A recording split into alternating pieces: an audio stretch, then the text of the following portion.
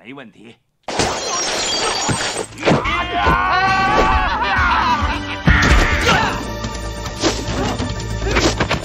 Terima kasih sudah klik video ini. Bagaimana kabarnya? Semoga kamu sehat selalu dan dilancarkan rezekinya. Pada video kali ini, saya akan menceritakan sebuah alur cerita film action yang seru, yang berjudul The Master yang dirilis pada tahun 1992, mengisahkan tentang petualangan Jet Li di Amerika Serikat saat sedang mencari gurunya. Seperti biasanya pasti ada masalah di dalam perjalanannya, bahkan Jet Li harus terlibat masalah dengan para gangster Amerika dan juga saudara seperguruannya sendiri. Tanpa berlama-lama lagi, ayo kita mulai alur ceritanya. Film diawali dengan memperlihatkan seorang wanita mantap bernama Anna yang sedang berolahraga. Namun saat itu ia harus dikeluarkan dari sana akibat baku hantam dengan temannya sendiri yang tidak suka dengannya. Kini kita berpindah ke tempat lain di sebuah toko obat tradisional khas Cina. Toko obat bernama Pocilam yang dikelola oleh mantan guru bela diri yang bernama Guru Tak. Pada malam itu seorang pasien pria telah selesai berobat di sana. Setelah itu ia memandangi sebuah foto-foto murid-murid berbakatnya. Ketika ingin pulang, guru tak kedatangan sekelompok orang yang salah satunya bernama Johnny. Johnny merupakan mantan muridnya asli orang Amerika yang telah lama menghilang setelah berlatih bersama guru tak. Di sini Johnny menantang untuk bertarung namun guru tak menolak mentah-mentah. Akan tetapi Johnny memaksa dengan cara menghancurkan tokonya.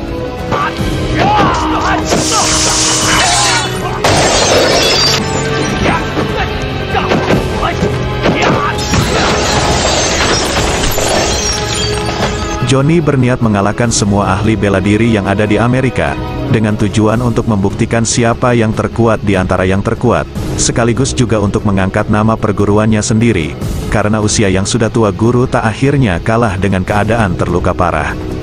Di sekitar sana ternyata ada Ana, melihat ada patua sedang dikeroyok, sehingga Ana langsung menolong guru tak. Ana membawanya ke rumah untuk dirawat, namun karena Ana tidak bisa bahasa Cina ia pun agak kebingungan. Selang beberapa hari setelah kejadian itu, kini tokoh utama kita Jet Li telah menginjakan kakinya di negeri Paman Sam. Namun baru juga turun dari bus tiba-tiba ia dirampok oleh tiga orang gangster.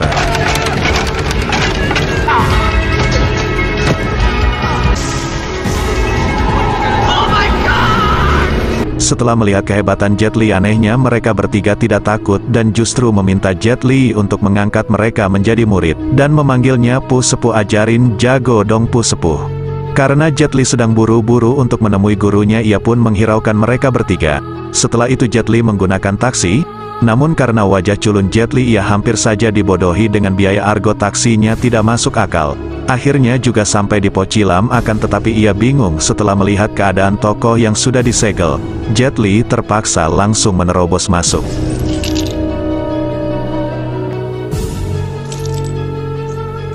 Rupanya semenjak kejadian itu guru tak masih tinggal di rumah anak.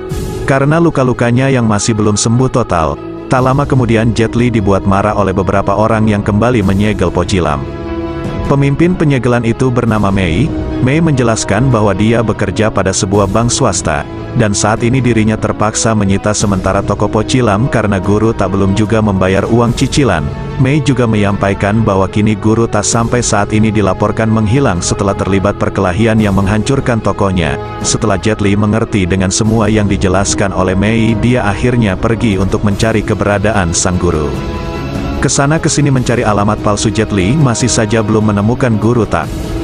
Tambah lagi sutradara pun enggan membantu Jet Li yang kesusahan. Lalu tiga berandalan yang kala itu merampoknya menghampiri. Tujuan mereka mencari Jet Li masih sama yaitu diminta untuk mengajari kungfu. Lalu mereka membawanya ke sebuah bangunan yang mereka sebut rumah untuk mengajak Jet Li tinggal sementara. Namun bangunan itu sedang dirusak oleh anggota geng berandalan lain. Bahkan kini mereka telah dikepung dan ditangkap untuk dimintai uang. Karena kasihan Jet Li akhirnya menolong mereka.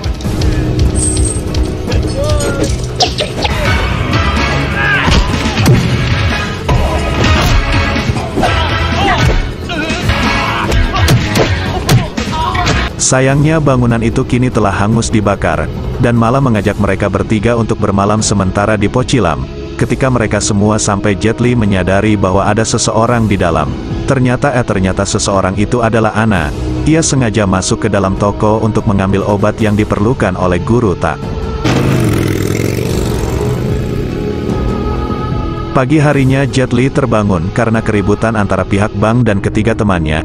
Jet Li yang kesal membentak Mei karena akibat masih melarang berada di dalam pocilam. Namun hal itu membuatnya langsung ditangkap oleh polisi. Ketika sedang diinterogasi, ia menyadari bahwa polisi yang ada di depannya sedang mengalami sakit perut. Jet Li yang sudah tamat tentang ilmu pengobatan tradisional Cina akhirnya membantunya. Tidak lama setelah itu Mei datang ke sana untuk membebaskan Jet Li. Karena Mei telah membatalkan tuntutannya, di samping itu komandan polisi juga mendatangi Jet Li untuk bertanya tentang Johnny. Komandan polisi meminta bantuan Jet Li untuk menangkap Johnny karena Johnny sudah membuat resah masyarakat. Lalu Mei menyarankan ke sebuah tempat pelatihan kungfu. Jet Li langsung ke sana namun Jet Li sangat tidak disambut baik oleh mereka, dan malah menyuruhnya bertarung dengan salah satu muridnya. Tentunya Jet Li terlalu OP.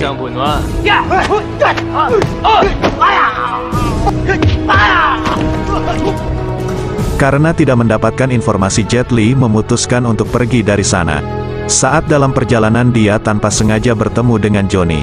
Mereka di sini sama-sama tidak saling mengenal. Untungnya sebelum Jet Li pergi jauh, Ana yang dari tadi mengikutinya kemudian memanggilnya. Ia langsung memberitahu keberadaan gurunya. Akhirnya Jet Li bertemu dengan guru Tak. Akan tetapi gurunya malah marah dan menghindar plus ngambek. Karena Jet Li dianggap sudah tidak peduli padanya karena tidak pernah menjenguk. Padahal alasan Jet Li tidak juga datang ke Amerika karena harus mengurus dulu paspor dan visanya terlebih dahulu. Di sisi lain rupanya Johnny mendatangi perguruan yang barusan didatangi oleh Jet Li, yang bertujuan untuk menantang mereka.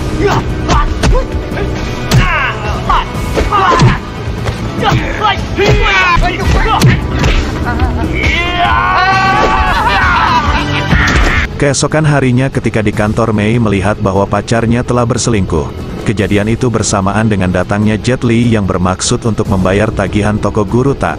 Lalu di saat di parkiran Johnny ternyata mengikuti Jet Li karena sudah tahu bahwa Jet Li adalah murid guru tak. Bersamaan dengan itu mobil Mei ternyata akan dicuri oleh gangster yang tempo hari dihajar oleh Jet Li. Di sini terjadi kerjasama antara Johnny dan Jet Li untuk menghindari gangster.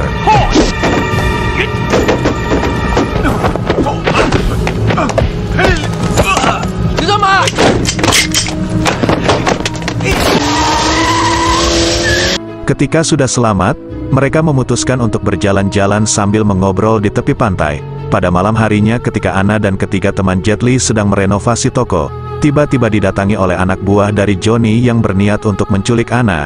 Mengetahui hal itu ketiga teman Jet Li langsung melindungi Ana walaupun mereka harus berakhir babak belur.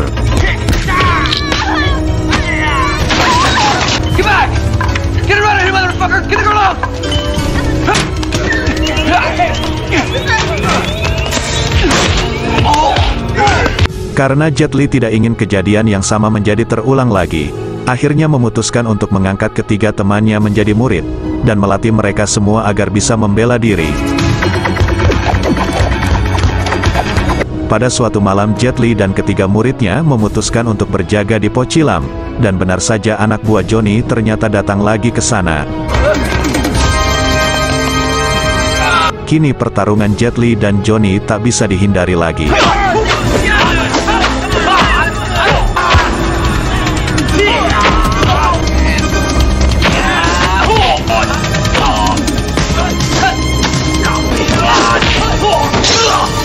Duel itu terpaksa harus terhenti oleh polisi.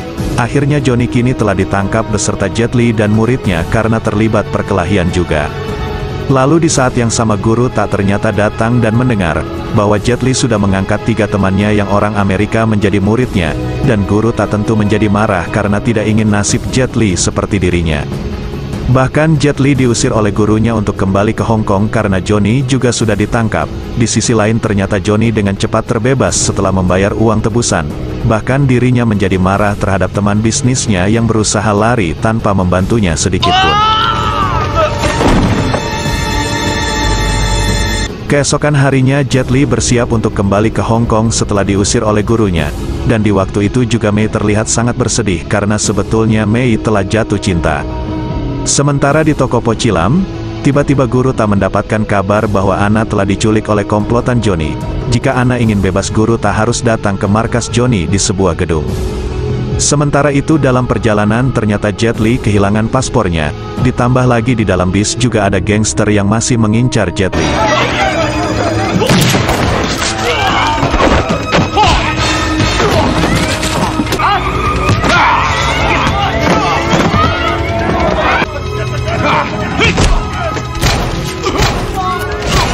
Rupanya sejak dari tadi Mei memang masih mengikuti Jet Li, dan baru mengetahui bahwa Jet Li melupakan paspornya.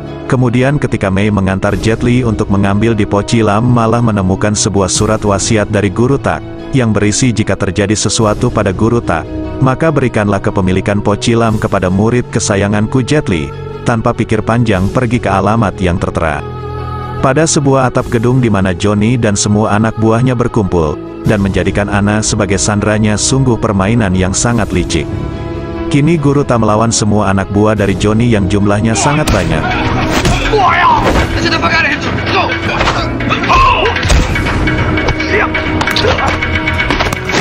Akan tetapi karena sudah tua guru tak tentunya pasti kalah, dan saat itulah ketiga murid Jet Li ikut membantu.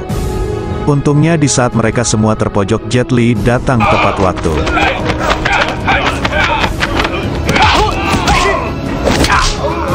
Kini giliran Johnny yang berduel satu lawan satu dengan Jet Li. Pertarungan mereka berlangsung cukup sengit tanpa adanya gangguan.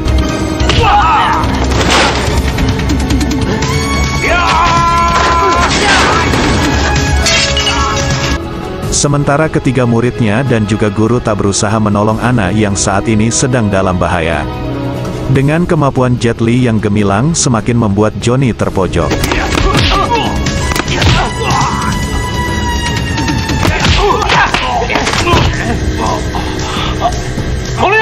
Akan tetapi Johnny malah berbuat nekat dengan meledakkan pipa gas di sana, yang membuat dirinya sendiri harus tewas karena terjatuh dari gedung.